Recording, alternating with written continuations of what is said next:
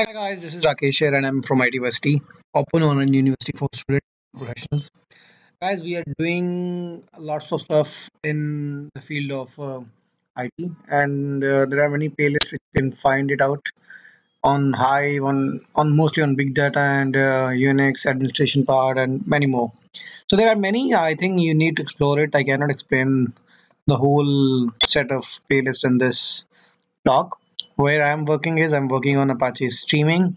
So this is apache spark streaming what this is and how this has been involved. You need to view at least these few videos. Then you will have some idea how the streaming works. So guys the last time where i left you is that the input stream, and the receivers. I told you there are two types of receivers. One was reliable and another one was uh, unreliable. Guys uh, there has always been uh, um, a question that how to maintain a state of a uh, of an RDD or of an how how do I maintain a state in streaming? Suppose I'm getting some values and uh, getting particular values on. Uh, so I'll give you an example that uh, uh, I want to store the state in which I'll be able to see what was the maximum uh, uh, you know count not count but suppose i have a share of infosys or tcs so i want to see that when was the last time that the share went max or the streaming count or the streaming or if i'm i'm receiving them so how do i evaluate? Suppose in past uh, infosys share reaches a x point and i want to check whether it has reached the same point today or not so i have to maintain the state right? I have to look uh, uh, in this in my sequence or in my uh, streaming that if i'm receiving the state or not and where the state has been uh, evolved. So statefulness is really really important for any streaming application. I want to see how my application is actually running. Or suppose i want to have a count in the stream. Or suppose i want to suppose someone is sending me a stream in which i want to count the integers or something else or i want to compare some certain things. So i need to have the past of that particular stream. So how to maintain that stream? So guys you remember that last time when we were uh, discussing uh, i think we had discussed uh, things still here. Give me a moment.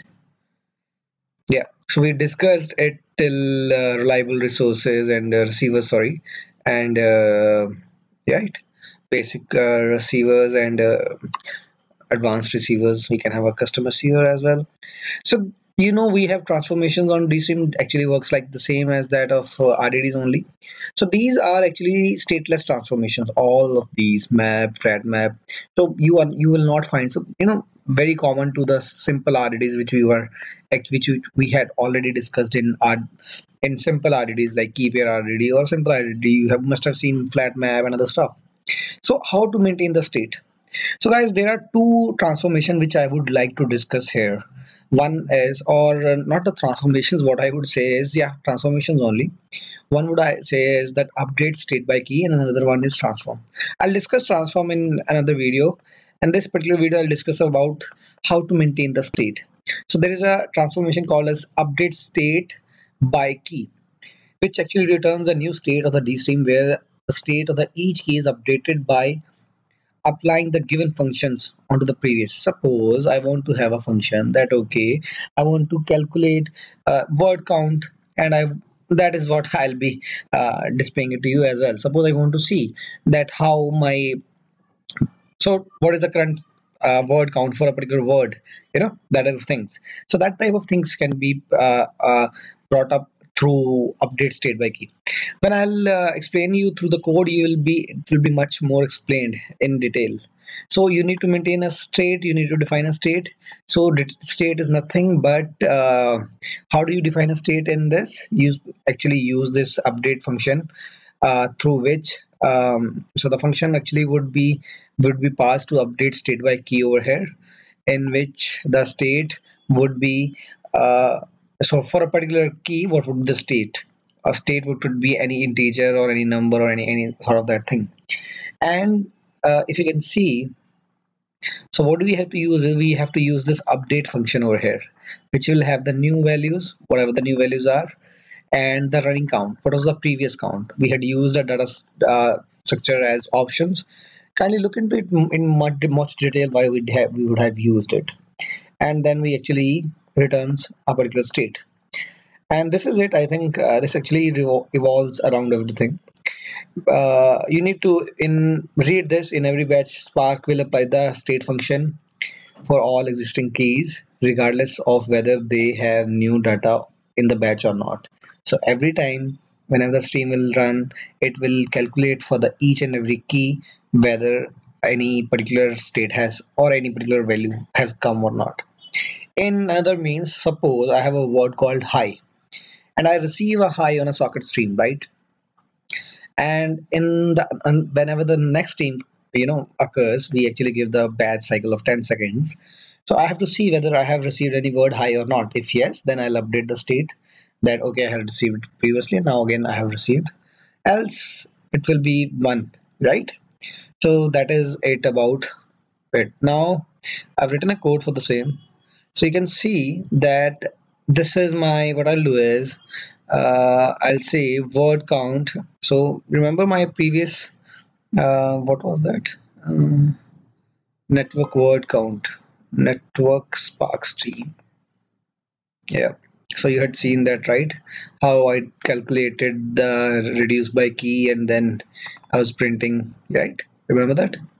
So in this stateful word count what I have done is that uh, I had used the word count over here and then I had applied um, the update state by key transformation on this. Why I had done this here? Because I need to see uh, I need to calculate on the word count which actually is a pair you know. So it would actually give me the values. And then it will call update function which has been defined here. So you can have another name for this but over here. Uh, so it has a sequence value which actually suppose in the current in the current uh, uh, in the um, in the current stream I'm receiving the values so it will sequence it out all sum it all right and then for every key it will see what was the running count what was the previous count for the same. If there will be any previous count it will return it. Else it will return zero. So zero however will actually define it the same. And then we returning some new count right? So these are the actually scala things. Scala some represent the existing values of a particular of a type a. So it will return that. That's it and there's another thing guys which i would like to discuss here is you had seen we need to uh, we need to put um, what is the ip and the port. And here my streaming actually has been revolved. So there's another thing which you need to give here is that you need to do a checkpointing. Whenever you are doing a stateful transformation check yeah. So i need to give the directory. You can ask me why do we need this? Hmm? Guys remember that all remember it that uh, suppose that uh, i'm running a state right? I'm running a particular i'm running a streaming application and my streaming application crashes. So how will i be able to receive what the state was in the previous check right so if the driver fails the receiver will actually keep on receiving it but how will i maintain? So there's a checkpoint directory in which i will keep on writing the logs through which i'll be able to receive the state. So it actually makes our uh, whole application uh, state uh, fault tolerant. So what i'll do is i'll run this and uh, will demonstrate you each and every step in detail again. So it will take a minute. I'll be back. Bye bye so yeah i'm back. Now you can see it uh, i what i did is that uh, i ran this itversity itversity hope the spellings are correct. And it has given me uh, hi has been given twice and itversity has been given twice. So now if i'll say uh, it versity is the best versity so let's see what we would get.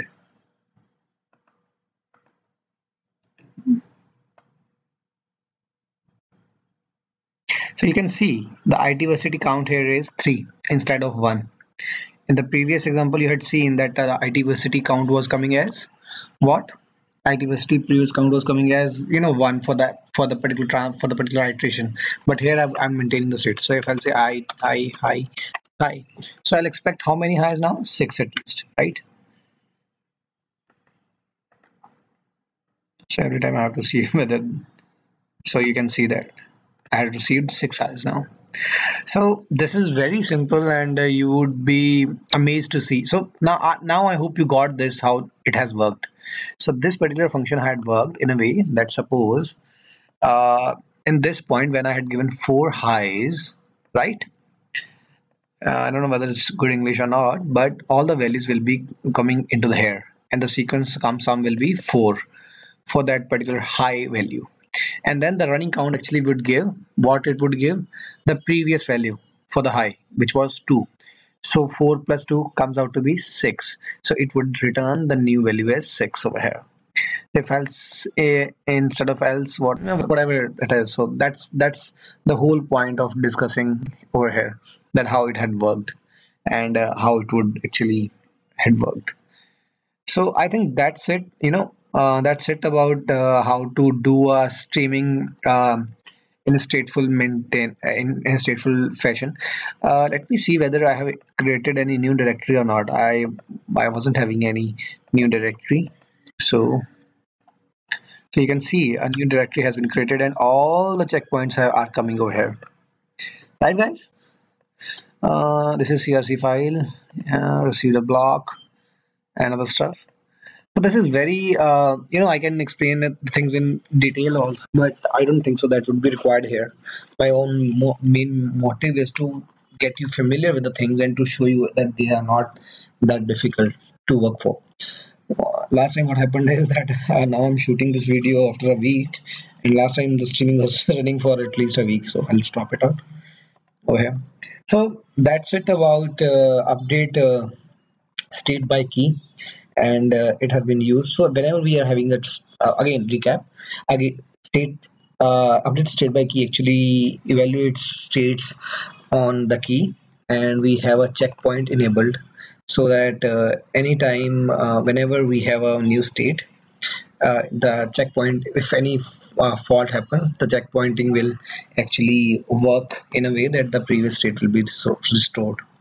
Right so i think that's it about this video. In the next video i'll explain you another uh, uh, transformation called as transform only. And i'm left with another thing called as windowed operation you know uh, i had shown it in one of my video in um, uh, there's a code for twitter right? Popular tags. But i would like to create another one for you guys right? I hope that won't be any big issue. I think that's it guys. That's it from my side as of now. And uh, keep watching our channel subscribe to it like it dislike it whatever it is but keep commenting to our post. It actually gives us boost to do new things you know? Thank you guys. Thank you very much. Have a nice day. Bye